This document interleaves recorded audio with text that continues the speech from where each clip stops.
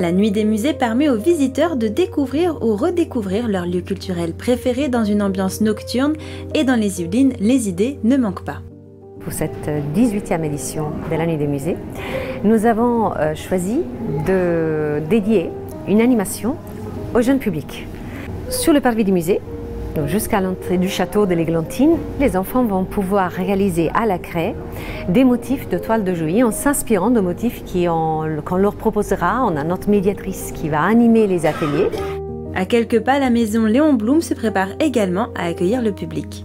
Cette année, donc, euh, nous avons effectivement, euh, en partenariat avec le conservatoire euh, de Versailles Grand Parc, conservateur de musique, donc nous avons monté donc un projet effectivement pour que des élèves, donc sous l'égide, sous la responsabilité de leur professeur, effectivement, viennent donc faire de l'animation musicale.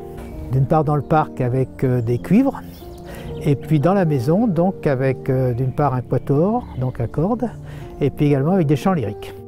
Après une période compliquée, les lieux culturels sont ravis de pouvoir réorganiser et repartager des événements avec le public. C'est plus qu'une joie, c'est une véritable respiration.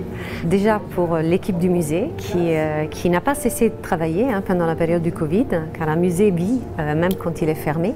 C'est une joie et un plaisir que, nous redécouvrons en quelque sorte et, nous essayons effectivement de, je ne veux pas dire de reconquérir parce qu'on n'a jamais perdu de public, sauf que c'est celui-ci qui a été privé de cet échange. Donc c'est un renouveau, donc une renaissance effectivement, je dirais, de la culture à jouer.